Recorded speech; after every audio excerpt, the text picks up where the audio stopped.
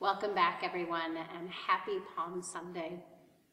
We're glad to be with you in your homes again, though we miss you terribly and look forward to the time that we are all back here together.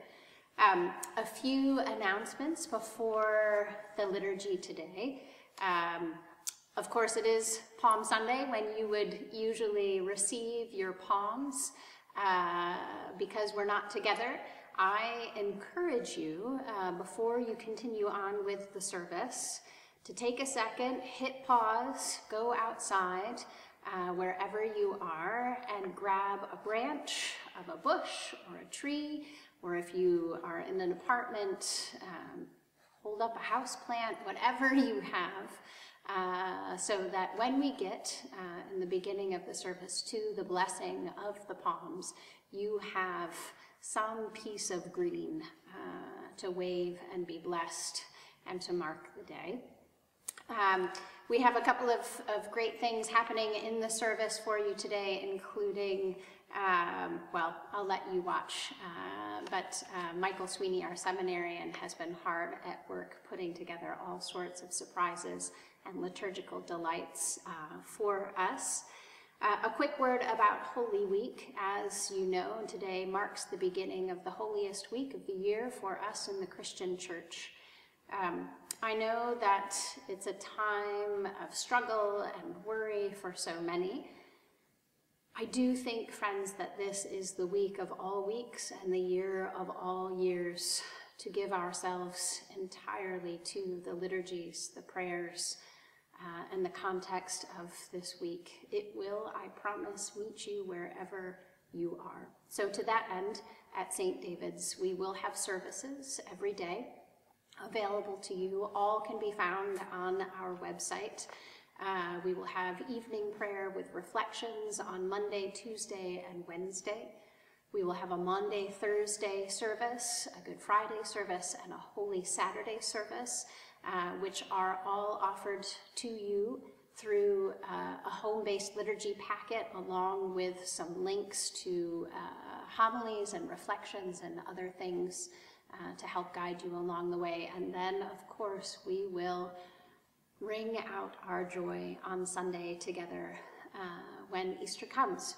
But do find a time, if you can, each day to set aside your worries, your cares, all that you are doing in your own homes at this point and give yourself to the Holy Week liturgies. I promise um, it will be fruitful.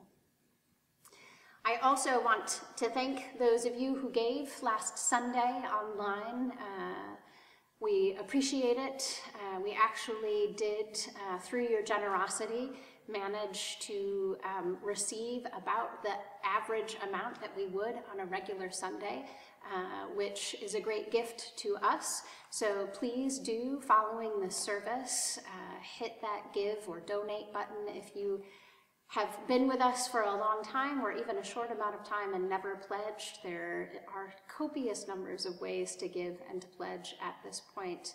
Uh, and we do appreciate uh, your generosity in this time of scarcity. Last but not least, uh, we are starting something new here at St. David's uh, at our bishop's request uh, called spiritual communion. And to most of us Episcopalians and Anglicans, uh, this is a new concept. Uh, to the Roman Catholic Church, it is an old one. So in looking to uh, some knowledge uh, and uh, kind of more articulate ways to explain to you what I mean by spiritual communion, uh, I looked to Pope Francis uh, and the early Catholic Church. Uh, Pope Francis on March 15th said, United to Christ, we are never alone, but instead form one body of which he is the head. It is a union that is nourished with prayer and also with spiritual communion in the Eucharist, a practice that is recommended when it isn't possible to receive the sacrament. Obviously, friends, receiving the sacrament, receiving communion together uh, is the way to participate most fully in our Mass, but it's not always possible for all of us to receive.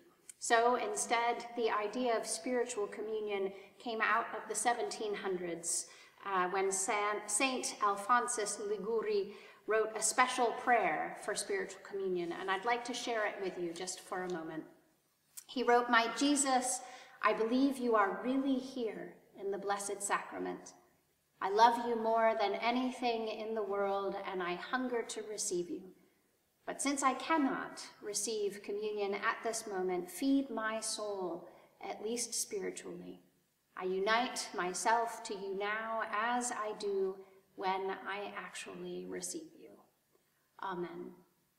Friends, to that end, because we cannot all share in the Eucharist together, Bishop Marianne and other bishops around the Episcopal Communion have asked us to offer spiritual communion. So we will not be receiving, uh, just as you are not receiving, so that we all can join ourselves together in this idea of spiritual communion.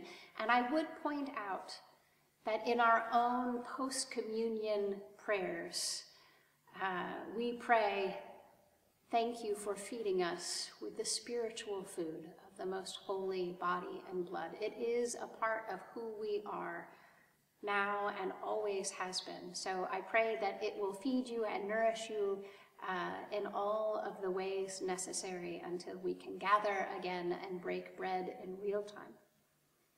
Friends, I'm so glad to be with you today. I hope that this liturgy inspires and consoles in whatever ways needed. Let us walk in love as Christ loved us and for the sake of love gave everything.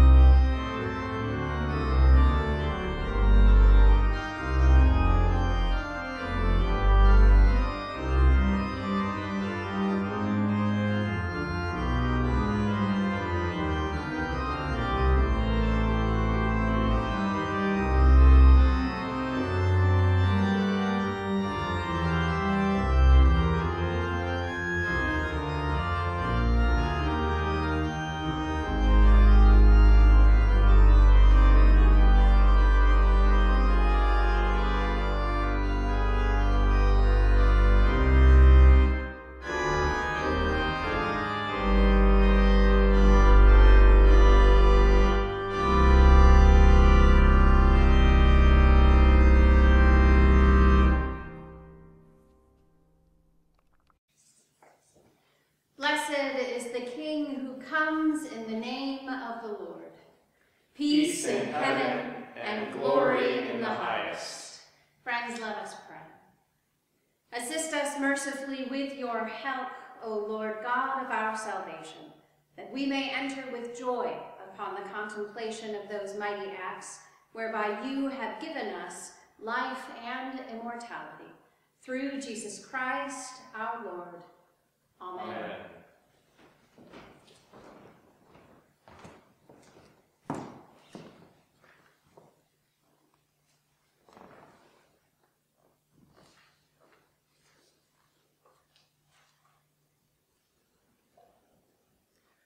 The Holy Gospel of our Lord Jesus Christ according to Matthew.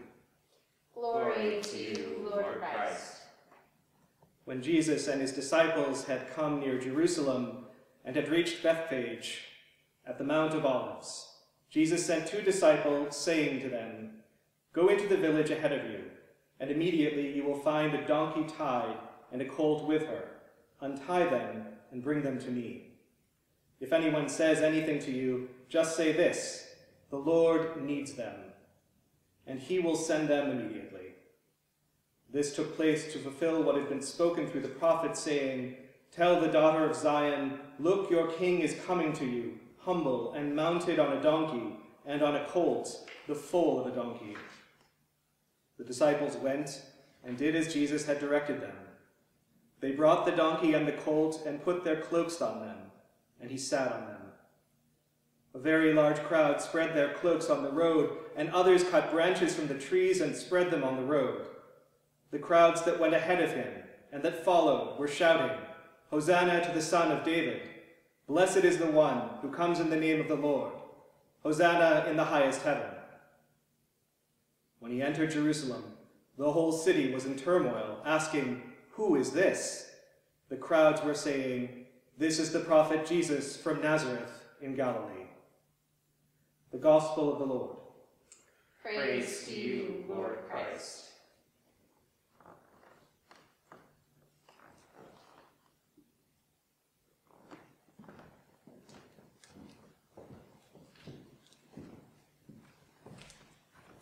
I know most of you don't have palm trees in your backyard, but if you do have branches that you have cut from whatever bushes or trees you have nearby, hold those branches up high. The Lord be with you.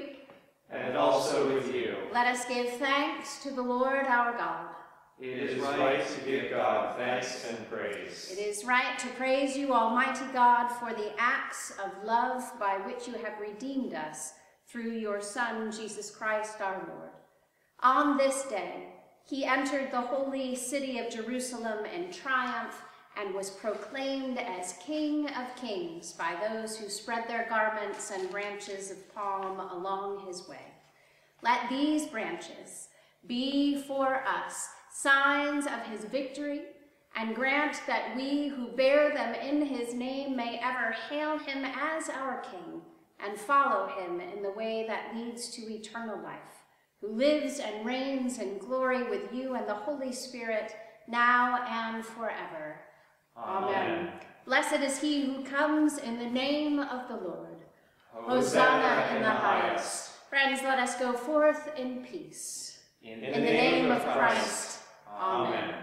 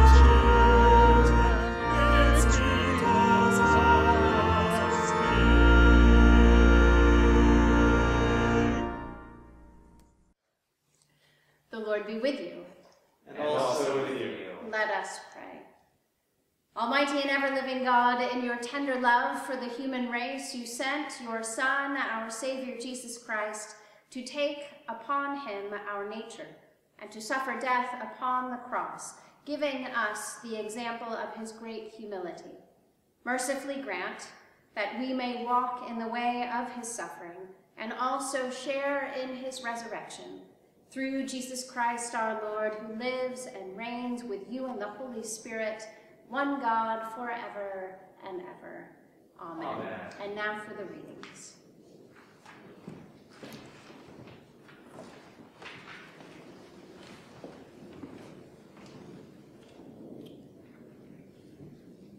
A reading from the letter of St. Paul to the Philippians.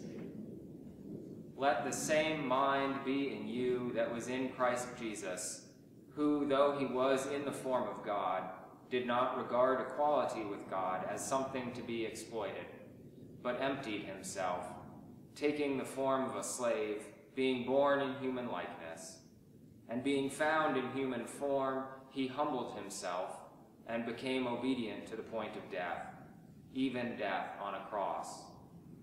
Therefore God also highly exalted him and gave him the name that is above every name, so that at the name of Jesus every knee should bend in heaven and on earth and under the earth, and every tongue should confess that Jesus Christ is Lord, to the glory of God the Father. The word of the Lord. Thanks, be to God.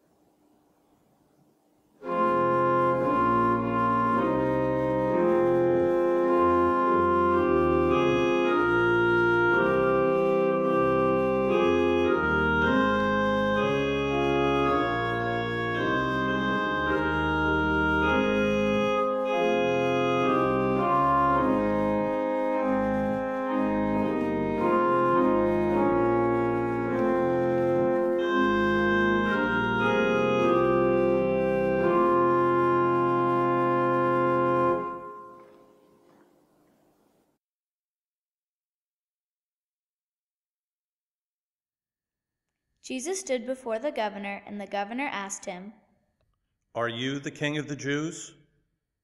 Jesus said, You say so. But when he was accused by the chief priests and elders, he did not answer. Then Pilate said to him, Do you not hear how many accusations they make against you? But he gave him no answer, not even to a single charge, so that the governor was greatly amazed. Now at the festival, the governor was accustomed to release a prisoner for the crowd, anyone whom they wanted. At the time, they had a notorious prisoner called Jesus Barabbas. So after they had gathered, Pilate said to them, Whom do you want me to release for you? Jesus Barabbas or Jesus, who is called the Messiah?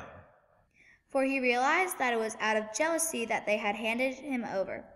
While he was sitting on the judgment seat, his wife sent word to him. Have nothing to do with that innocent man, for today I have suffered a great deal because of a dream about him. Now the chief priests and the elders persuaded the crowds to ask for Barabbas and to have Jesus killed. The governor again said to them, Which of the two do you want me to release for you?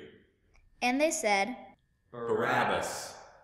Pilate said to them, Then what should I do with Jesus, who's called the Messiah? All of them said, Let him be crucified. Then he asked, Why? What evil has he done? but they shouted all the more. Let him be crucified. So when Pilate saw that he could do nothing, but rather that a riot was beginning, he took some water and washed his hands before the crowd, saying, I am innocent of this man's blood. See to it yourselves. Then the people as a whole answered, His blood be on us and on our children. So he released Barabbas for them, and after flogging Jesus, he handed him over to be crucified. Then the soldiers of the governor took Jesus into the governor's headquarters, and they gathered the whole cohort around him. They stripped him and put a scarlet robe on him, and after twisting some thorns into a crown, they put it on his head. They put a reed in his right hand and knelt before him and mocked him, saying, Hail, King of the Jews! They spat on him and took the reed and struck him on the head. After mocking him, they stripped him of the robe and put his own clothes on him. Then they led him away to crucify him. As they went out, they came upon a man from Cyrene named Simon.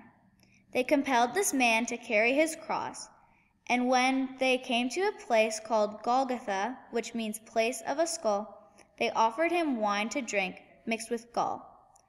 But when he tasted it, he would not drink it. And when they had crucified him, they divided his clothes amongst themselves by casting lots. Then they sat down there and kept watch over him. Over his head they put the charge against him, which read, This is Jesus, the King of the Jews. Then two bandits were crucified with him, one on his right and one on his left. Those who passed by derided him, shaking their heads and saying, You who would destroy the temple and build it in three days, save yourself. If you are the Son of God, come down from the cross. In the same way, the chief priests also, along with the scribes and elders, were mocking him, saying, He saved others. He cannot save himself. He is the King of Israel. Let him come down from the cross now, and we will believe in him. He trusts in God. Let God deliver him now, if he wants to. For he said, I am God's son. The bandits who were crucified with him also taunted him in the same way. From noon on, darkness came over the whole land until three in the afternoon. And about three o'clock, Jesus cried with a loud voice, Eli, Eli, lama sabachthani? That is, My God, my God, why have you forsaken me? when some of the bystanders heard it, they said, This man is calling for Elijah. At once one of them ran and got a sponge, filled it with sour wine, put it on a stick, and gave it to him to drink. But the other said, Wait, let us see whether Elijah will come to save him. Then Jesus cried again with a loud voice and breathed his last. At that moment, the curtain of the temple was torn in two, from top to bottom. The earth shook and the rocks were split. The tombs were also opened, and many bodies of the saints who had fallen asleep were raised. After his resurrection, they came out of the tombs and entered the holy city and appeared to many. Now the centurion and those with him who were keeping watch over Jesus saw the earthquake and what took place. They were terrified and said, Truly, this man was God's son. In the name of the ever blessed Trinity, one God, Amen. Ever since I was a child, Palm Sunday has seemed to me to be confusing. Think about it. We start out commemorating Jesus' triumphal entry into Jerusalem, holding, raising, waving palm branches, just as the crowds of Passover pilgrims did as they accompanied Jesus into the great and holy city. The liturgical flourishes our tradition usually offers in this commemoration can be quite stirring. Festive hymns of glory, laud, and honor, a parade of parishioners, young people, and maybe not just young people, enjoying the chance to get out of the pews and move around. In a parish I served in New Haven, Connecticut, the tradition was for bagpipes, drummers, and organ to accompany the procession with the beautiful tune of Highland Cathedral. For many, this sort of celebratory experience is one of several absolute liturgical highlights of the year. It is festive at first. How quickly, though, the skies darken. Betrayal slithers onto the scene. Still surrounded by crowds, Jesus is no longer riding in majesty to acclamations of Hosanna to the Son of David. No. He is turned in. betrayed by Judas, one of the twelve, one of his closest followers. Jesus is arrested and stands trial before crowds now suddenly shouting that he should be crucified. Are these the same crowds? Did they change their minds? Jesus is mocked, tortured, crucified, and seemingly abandoned even by God. Jesus cries aloud from the cross, My God, my God, why have you forsaken me? How did we suddenly get here? What does it all mean? For many young people, and maybe not just for them, this dramatic turnabout is utterly strange. It is, in fact, confusing. Perhaps the most profoundly perplexing twists are those involving betrayal. Judas, for example. Judas' story doesn't make any sense when you think about it. Why did one of Jesus' most intimate followers, the man John's gospel said managed the apostles' money, why did this close friend of Jesus betray him so heartlessly? Why, as Matthew's gospel records, would Judas agree to show the temple guards where to find Jesus for 30 pieces of silver, only to turn around when Jesus was condemned to death and throw the 30 pieces of silver at the feet of the chief priests and then go hang himself? Are those the actions of a greedy thief? Someone in it for the money? Confusing. What about the crowds before Pilate, demanding that the Roman governor release Barabbas instead of Jesus, who had been hailed as the messianic son of David as he entered the city? Who was this notorious prisoner, as Matthew calls him, whom the people seemed to love more than Jesus? John's gospel calls Barabbas a robber. But Mark and Luke drill deeper, explaining that Barabbas was an insurrectionist who had committed murder in a Jewish uprising against Roman rule. Common events in that time. What could possibly have made the crowds choose radical, violent Barabbas over a generally peaceable rabbi? Why would they, albeit as only Matthew says, scream out lustily that Jesus' blood be upon them and their children? a turn of phrase that has been used for centuries to justify all manner of wicked and vile and murderous anti-Semitism. Again, confusing. And then there's the agony on the cross. After hours stretched across wooden beams exposed to all elements, gradually unable to breathe for lack of bodily support, Jesus faces the unthinkable God, it seems, has abandoned him. He is somehow in that moment beyond hope. He cries out, My God, my God, why have you forsaken me? This gentle man, who knew God always heard him, gave up, and then he died. Abandoned, alone, and in agony, with God seemingly nowhere to be found, betrayed ultimately even by God the Father. How did we get here so quickly? what does it mean? Well, Judas and Barabbas might have more in common than is obvious at first. If Judas' despair to the point of suicide happened only after Jesus was condemned to die, perhaps his purpose had actually, had only been to force Jesus' hand to make the Messiah take action to overthrow the Roman overlords, because there would be no other choice. From such a perspective, advanced, for example, by Anglican Bishop John A.T. Robinson, Judas' despair and suicide make sense. His betrayal suddenly became not just a ploy, but real. His friend would die, and he had his own hand in it. It seems quite plausible that Judas did not understand, or did not want to understand, what Jesus' identity as Messiah must mean. Judas wanted something different. In light of this thinking, the rowdy crowd's rejection of Jesus in favor of the one Mark calls an insurrectionist makes good sense.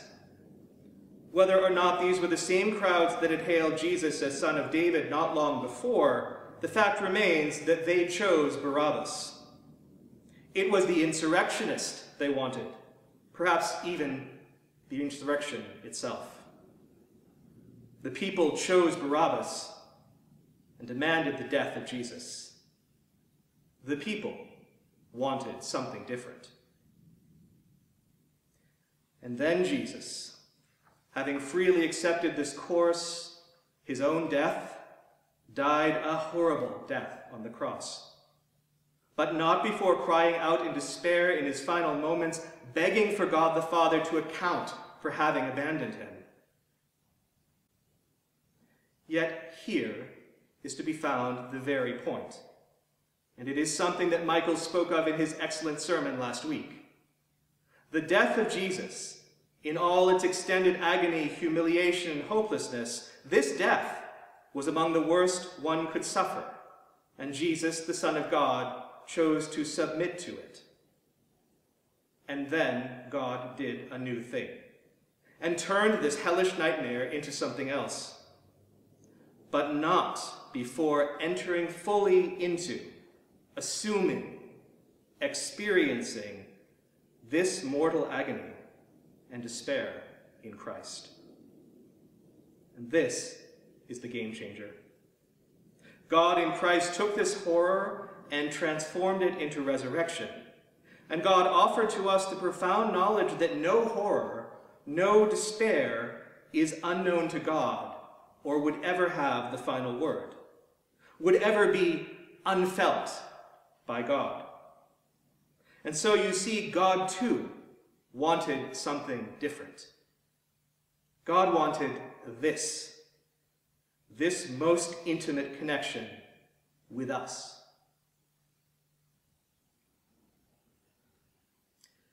In his book, The Crucified God, German theologian Jürgen Moltmann illustrates what this means by drawing on post-Holocaust theology, particularly a version of the rabbinic theology of God's humiliation. Seeing in this an idea related to the Christian theology of the cross, Moltmann quotes Holocaust survivor Elie Wiesel, who in his book Night recounted his experiences in Auschwitz. Wiesel says this, The SS hanged two Jewish men and a youth in front of the whole camp. The men died quickly, but the death throes of the youth lasted for half an hour. Where is God? Someone asked behind me as the youth still hung in torment in the noose after a long time, I heard the man call again, Where is God now? And I heard a voice in myself answer, Where is God? He is here.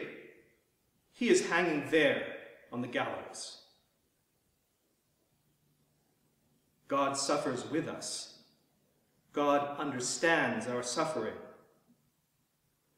What a wonderful theological supposition. But what good does it really do us? What good does it do us right now, surrounded as we are by danger, death, and despair? Right now, when a virus burns through our country and the world like a wildfire? Well, I wish I knew. Is God gasping for air somewhere on a ventilator, so fully experiencing divine compassion for us? Has God collapsed in exhaustion in the corner of a hospital emergency department, still running the risk of deathly infection for our sake? Does it matter? Does it matter to you? Where is God? As we ponder such questions throughout this Holy Week, perhaps one consolation is that we are not helpless or disempowered. Yes, we are for the most part staying at home and being safe, which is as it should be. We are washing our hands. We are entertaining our children. We are learning new games. We are discovering how to make masks out of old t-shirts. And we are pondering ways of dealing with hair that won't stop growing before the salons and barbershops eventually open up again. Of course, we pray fervently. I must confess, though, that this pandemic has challenged my prayer life. Praying for an end to this pandemic, as the Washington Post says that half of all Americans are doing, praying for an end feels much like praying for peace in the world. Yet pray we must. It's what God calls us to do. But beyond all this, we are also able to reach out in compassion, to donate, for example, to support the most vulnerable in our midst. For me, this past week, this meant organizing a matching grant program for Allianz's companies across the U.S. to raise and then match funds for youth at risk. $50,000 altogether for youth who are homeless, hungry, or overwhelmed in this pandemic crisis. And to be honest, this wasn't even something that just spontaneously occurred to me. It came to me in answer to a colleague's question asking what we might be able to do to help. The question rattled me, helpless as I felt. And then it inspired me to action. What might you be able to do? A good place to start was offered recently by Rabbi Yosef Kanefsky of Los Angeles, who wrote this. Every hand that we don't shake must become a phone call that we place. Every embrace that we avoid must become a verbal expression of warmth and concern. Every inch and every foot that we physically place between ourselves and another must become a thought as to how we might be of help to that other, should the need arise. Amen, Rabbi. Amen to that.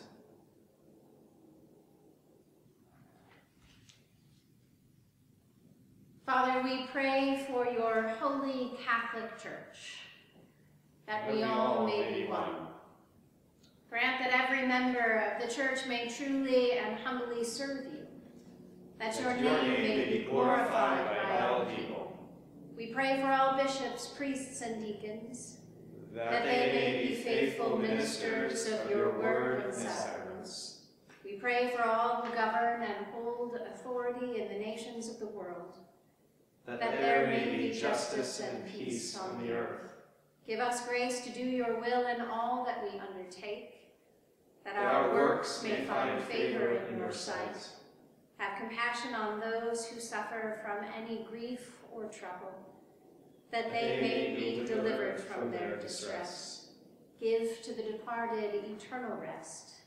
Let light perpetual shine upon them. We praise you for your saints who have entered into joy. May we also come to share in your heavenly kingdom. Friends, let us pray for our own needs and those of others. Today we pray especially for all those who are sick, alone, those who are hungry. We pray for Kathy, Anne, Charlie, Paul, Laura, and Michael. We pray too for all those who are serving those who are sick and lonely. We give thanks for them. And we pray for those who have died, especially Joe Hawley and Ellen Maxwell.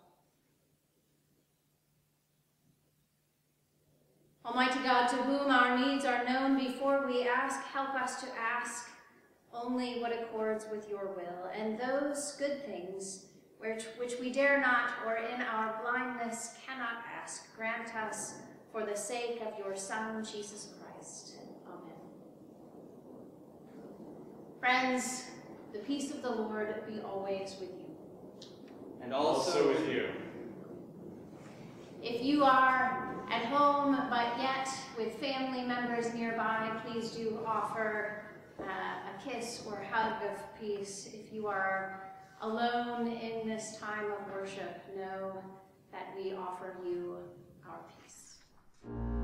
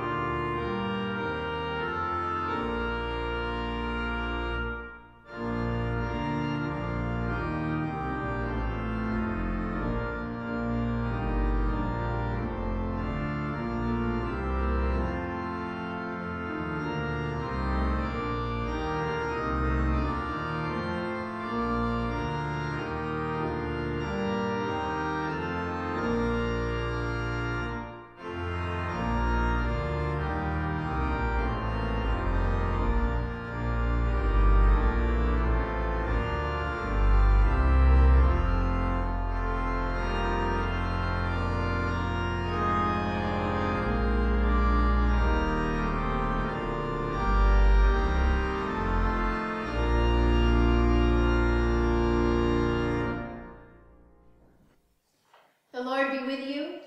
and also with you. Lift up your hearts. We lift them to the Lord. Let us give thanks to the Lord our God.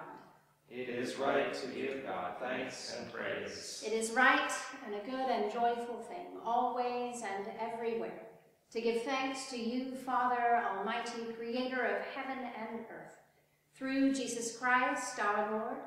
For our sins he was lifted high upon the cross, that he might draw the whole world to himself. And by his suffering and death, he became the source of eternal salvation for all who put their trust in him. Therefore we praise you, joining our voices with angels and archangels and with all the company of heaven, who forever sing this hymn to proclaim the glory of your name. Holy, holy, holy Lord, God of power and might, heaven and earth are full of your glory. Hosanna in the highest. Blessed is he who comes in the name of the Lord. Hosanna in the highest. Holy and gracious Father, in your infinite love you made us for yourself. And when we had fallen into sin and become subject to evil and death, you in your mercy sent Jesus Christ, your only and eternal Son, to share our human nature, to live and die as one of us, to reconcile us to you, the God and Father of all. He stretched out his arms upon the cross and offered himself in obedience to your will, a perfect sacrifice for the whole world. On the night he was handed over to suffering and death, our Lord Jesus Christ took bread, and when he had given thanks to you, he broke it and gave it to his disciples and said, Take, eat. This is my body, which is given for you. Do this for the remembrance of me.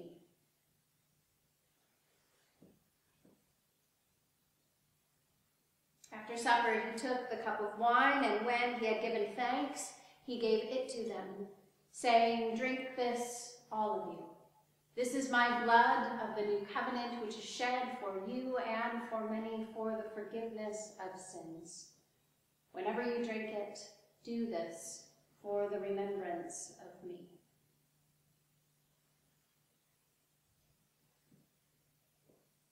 Therefore, we proclaim the mystery of faith. Christ has died. Christ is risen. Christ will come again. We celebrate the memorial of our redemption, O Father, in this sacrifice of praise and thanksgiving, recalling his death, resurrection, and ascension, we offer you these gifts. Sanctify them by your Holy Spirit, to be for your people the body and blood of your Son, the holy food and drink of new and unending life in him. Sanctify us also, that we may faithfully receive this holy sacrament and serve you in unity, in constancy, and peace. And at the last day, bring us with all your saints into the joy of your eternal kingdom. All this we ask through your Son, Jesus Christ, by him and with him and in him, in the unity of the Holy Spirit. All honor and glory is yours, Almighty Father, now and forever. Amen. And now, friends, as our Savior Christ has taught us, we are bold to say, Our Father, who art in heaven, hallowed be thy name. Thy kingdom come, thy will be done, on earth as it is in heaven. Give us this day our daily bread, and forgive us our trespasses, as we forgive those who trespass against us. And lead us not into temptation, but deliver us from evil. For thine is the kingdom, and the power, and the glory, forever and ever. Amen.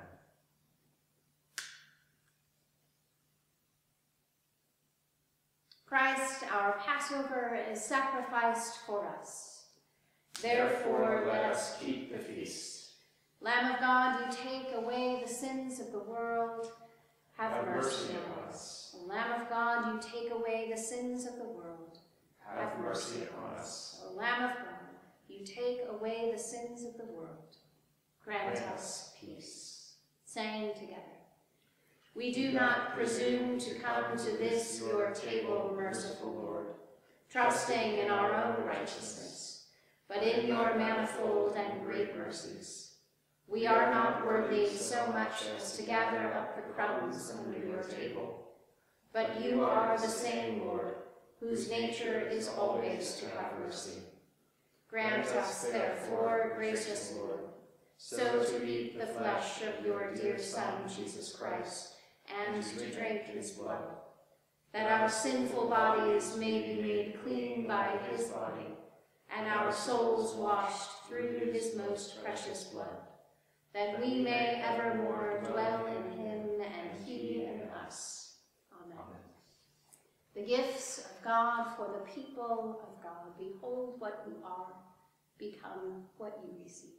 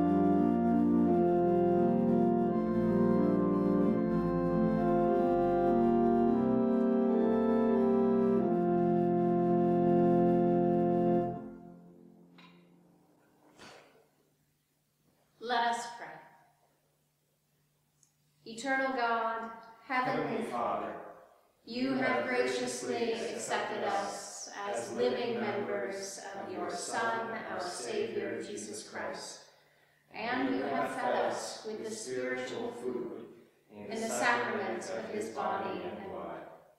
Send us now into the world in peace, and grant us strength and courage to love and serve you with gladness and singleness of heart. Through Christ our Lord. Amen. The blessing of God Almighty, Father, the Son, and the Holy Spirit be upon each of you and those beloved to you this day and always. Amen. Let us bless the Lord. Thanks be to God.